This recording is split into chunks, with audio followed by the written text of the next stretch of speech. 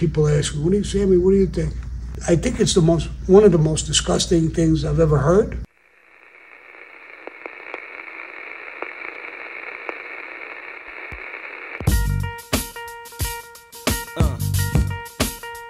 Uh huh, yeah.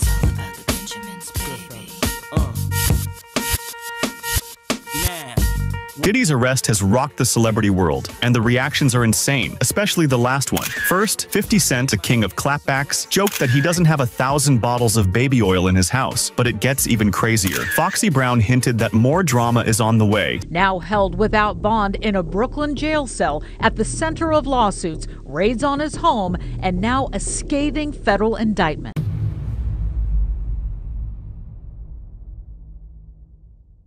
Anna, we were watching the headlines, the stories. When they take all the evidence they have and they bring it to a, a judge, federal, in this case, it's going to be a federal judge, was a woman.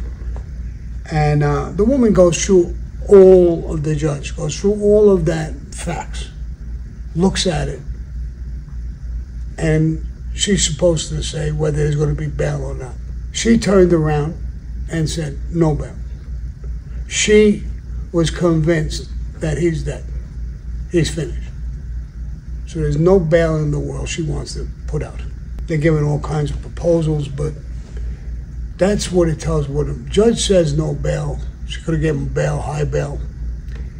He's so dead that it's obvious to the judge. That's a signal. It's not a law, but it's a signal. He's got no bail. And then there's an indictment of when they first raided his house and what they have now and all of these things. I've never seen anything like this in my life. This guy, there's not enough years to give him. They won't stop. A thousand bottles of baby oil. And what's the other? Lubricants. Lubricants. Uh, all right, those two things. Then they're beating them up boys, girls, men.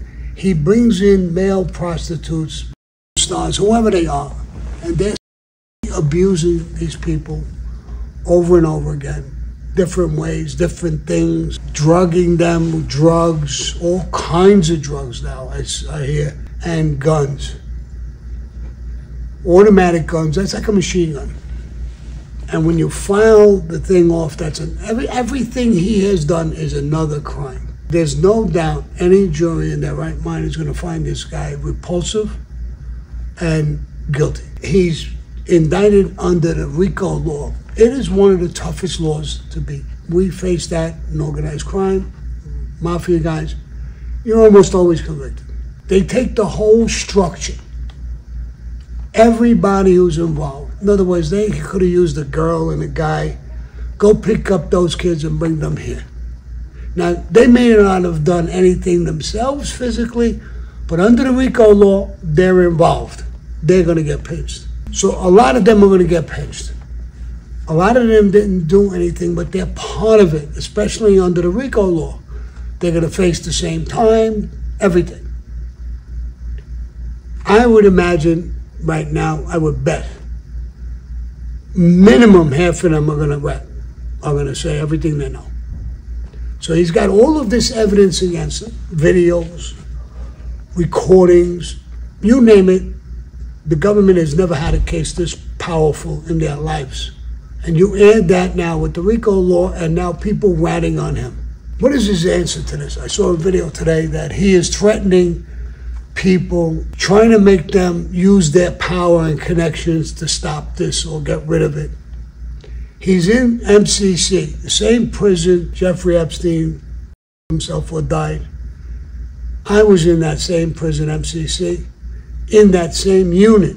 It's locked down. Maybe not the same cell, but I know the whole situation there.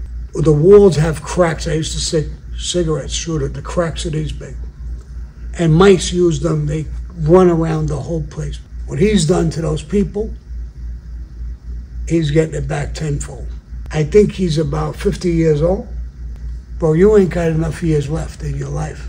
He's mentioning all of these people J Lo, Will Smith, all of these people were at his parties. And they called the parties a freak off. You could come in and freak out like you've never freaked out in your life, bro. Wow.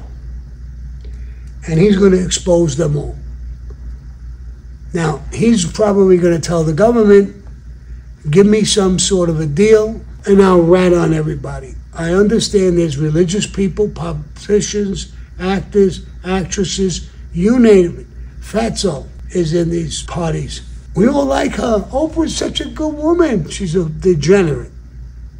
I always knew that about her. What really bothered me about her, she owned a big place in Hawaii. There was a fire.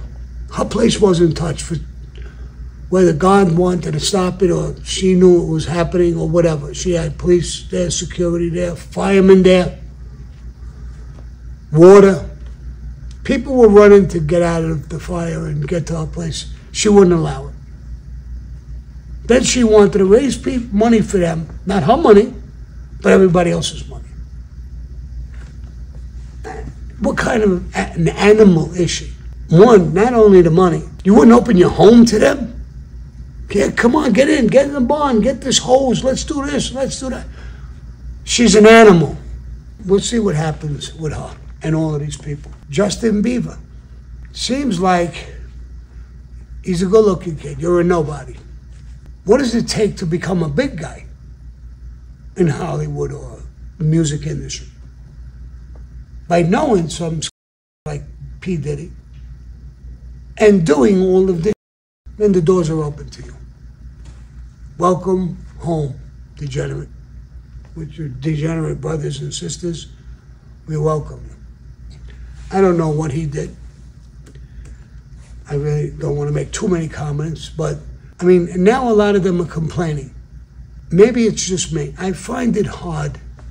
If you drugged me, you tortured me, and you forced me to, you would have to, you would be better off killing me. Because I will come back. And if I wasn't, didn't have a killer instinct, I would at least go to the cops and say, this is what they did to me. Do you want to say it now? All these years later? You became a big shot singer a big name. You must have enjoyed it. I don't feel sorry for you. You sold your soul way back then. Don't cry about it now. When the shit's hitting the fan, don't start pointing. You should have been pointing right away.